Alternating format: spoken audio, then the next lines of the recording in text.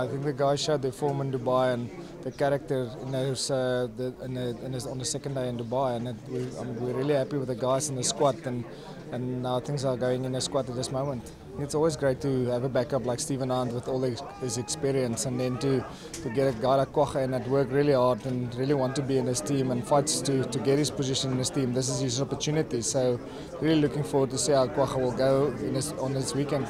Key for us this weekend is for the guys just to remember why we're here and. Uh, although there's a lot of off the field stuff that we need to attend and, and, get to because of the fans and the sponsors, and that's great for us. Um, we still need to focus on what we, we need to do over the weekend, and for us, it's um, Canada that first game that all our focus and energy is on. Yes, I've been a part of the setup since I finished school, and it's great for me to be part of the setup and join the guys here. It helps me a lot because I'm also already part of the family like Frankie and the guys, and I started practicing the game plan since I finished school.